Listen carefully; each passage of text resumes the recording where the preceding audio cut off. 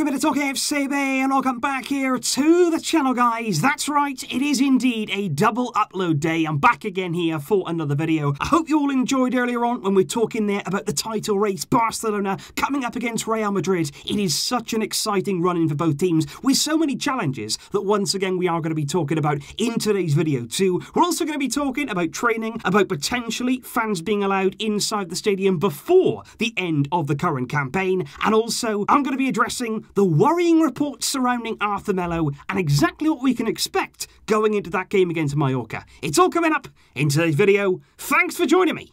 Let's get to it. Because indeed, the days are indeed counting down now. We're Tuesday, not too far away from the weekend and not too far away now from Barcelona's return. We've all waited, haven't we, for this moment? We've all been waiting week upon week upon week. Things have looked bleak. Things have looked as though maybe they're not going to get better. Maybe we're not going to emerge from the tunnel that we're in. But we have. We are nearly there now, guys. And certainly later on this week, there's going to be so much content coming up ahead of that game against Mallorca. The players did indeed, though, train once again this morning. No problems whatsoever to report from this morning's training session. Messi again was present, he was there with the group, absolutely fine, no problems. And the players will return to training once again tomorrow morning, which will mean there we've kicked off the game week with three successive training sessions Monday, Tuesday, Wednesday, with Quique Setien now maximising every available moment with the full group ahead of a vital return to action. We have also received over the past few days official confirmation from La Liga concerning the exact dates and times of matchday 30 and matchday 31 from the upcoming remaining games in La Liga, with Sevilla against Barcelona set for a Friday night clash there under the lights at the Ramon Sanchez Pizjuan. And that there, as you can see, is coming just three days after our game against Leganes. We're playing Leganes on the Tuesday, we then have Sevilla away, such a difficult game, on the Friday and that certainly is a quick turnaround. We then have a slightly bigger break between matchday 30 and 31 as Barcelona will be facing Athletic at Tuesday at 10 pm live from the Camp Nou on that day. But as you can see already, from the fixtures that have been announced, we already knew they were going to be in very quick succession. And even as soon there as that Leganes game, you're going to be thinking there about some rotation. You're going to be thinking about players that maybe we need to save for that vital trip there away at Sevilla, one of our biggest tests. And that's what we're going to see over the course course of the season, and that's why I wouldn't get too bogged down with starting lineups. I've seen a few people getting a little bit nervous, seeing a few names in lineups maybe they wouldn't have expected to see, and they're not really happy at what maybe Setien is going to be trying. But what I'm going to say is this with the lineups, don't be too concerned. Don't be too bogged down there with who's in the starting lineup, at least in the first few games, because believe me, over the course of the run in, these 11 games to come,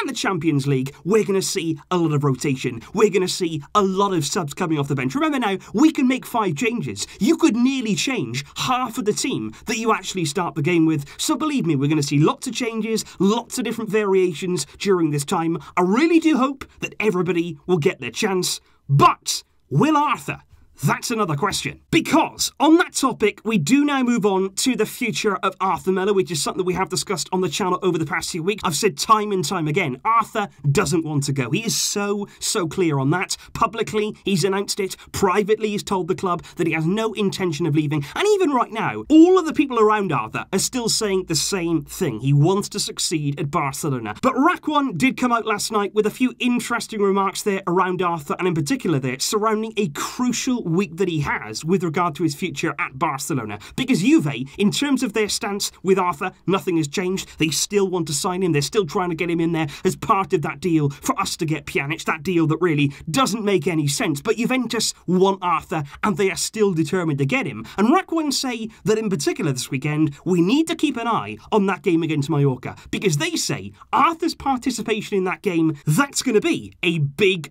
big point of interest. Because is he going to start start the game? And if he doesn't start the game, is he going to come off the bench? Or is he not going to be involved at all? Are we going to see here Arthur Melo actually being pushed out, being forced out? Because there have been a few worrying rumours that have basically come out and said the board have told Arthur that if he doesn't want to go, if he refuses to leave the club, he may not receive the amount of game time that he's hoping for at Barcelona. And I just think that for me, it's ridiculous. Not only does it not make sense in terms of Arthur Melo is a great player, he's an exciting talent, He's somebody who does fit in our midfield. We can use him. We can use there the qualities that he can bring in our team. But it's not just there about the individual. It's about the whole squad. We need Arthur right now. There's no good sacrificing here a player just because you want to try and force him out. Because we're going to need, like we said before, every single player in these last 11 games. We can't afford to cast somebody aside. We cannot afford to do that to any player, let alone somebody like Arthur Melo. And I just think there, if the board have said that, if now they're going to start interfering with team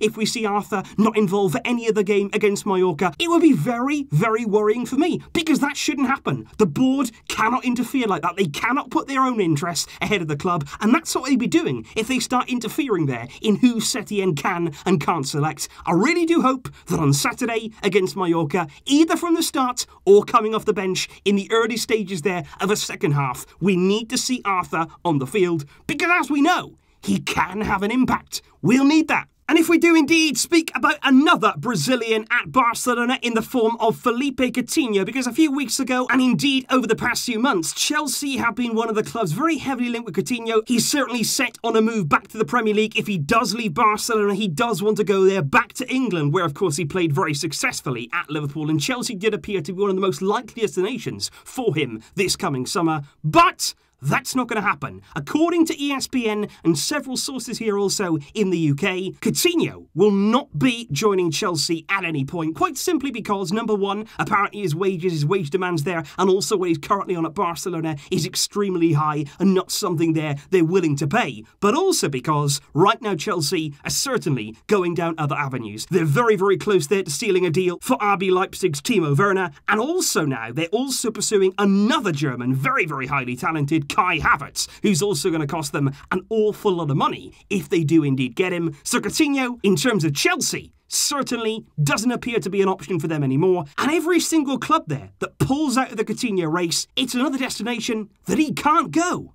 And all the time, Barcelona's options to offload Coutinho, they're getting smaller and smaller and smaller. And I still do believe the next season, Coutinho may well end up staying in the team. But I do want to end today's news roundup here by discussing fans inside of stadiums, because although it appeared at the start of this pandemic that we may not see fans inside stadiums until well into 2021, as the days have gone on, as we've started now, hopefully, to come out the other side of it all, there have been a few rumours that date is going to keep coming forward and forward and forward. And in particular now, a few murmurs have started to circulate about potentially fans being allowed inside stadiums before the current season is even over. And it all started there with Celta Vigo Vigo, they actually went to La Liga and they were saying, look, we'd like to already allow fans inside the stadium. As soon as football returns, we'd like there a few to be inside Balaidos. And basically, La Liga went back to Celta Vigo and they said, look, we can't just let you have fans inside the stadium. We can't just allow one club out of the 20 to have fans. That would be unfair. It's not right to do that at this stage. But